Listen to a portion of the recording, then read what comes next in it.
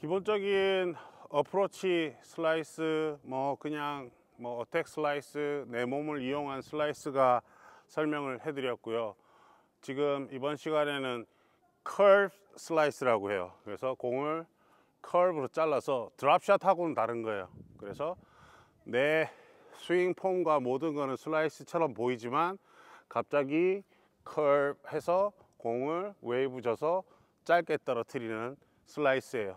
그래서 커브 슬라이스를 할 때는 일반 슬라이스를 하는 것처럼 라켓 back이 똑같아요. 똑같고 커브 슬라이스는 약간 공이 베이스라인 몸 왼쪽 사이드로 많이 빠졌을 때 high ball 공이 좀 높을 때 슬라이스를 하는 것처럼 하지만 여기서 이건 그냥 슬라이스고요 높은 공을 칠 때는 공을 맞출 때 라켓이 여기서 위로 세워져 나와야 돼요 그래서 앵글이 요, 요 정도 면이 만들어진 상태에서 여기서 공을 curve, curve, 공을 옆면을 이렇게 있을 때 이쪽 면을 깎는다라고 생각을 하시면 돼요.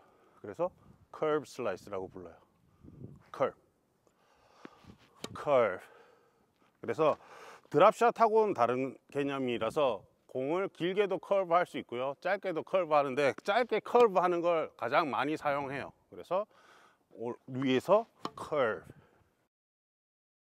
네 슬라이스에서 중요한 건 손목에 손목을 뭐 고정해라 뭐 relaxing 해라 이런 말들이 있는데요. 그걸 단정 지을 수는 없을 것 같고요. 제, 제, 제가 생각할 때는요 일반 뭐 레귤러 슬라이스를 했어요.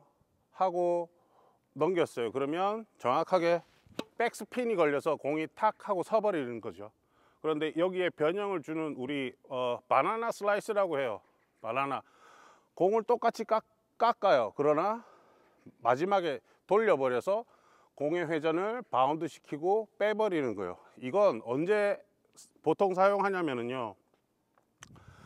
내가 랠리를 해서 상대 선수를 반대편까지 많이 뺐어요. 많이 빼고 내가 다운더 라인으로 칠 때 이 선수가 뛰어오는 속도에 맞춰서 조금 더 튀게 해서 못 치게 하는 그때 사용하는 거거든요. 그래서 스윙이 팡 하고 튀어버리게.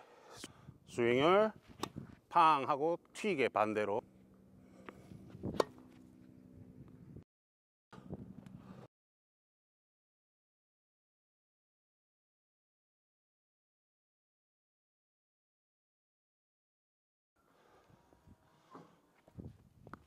う。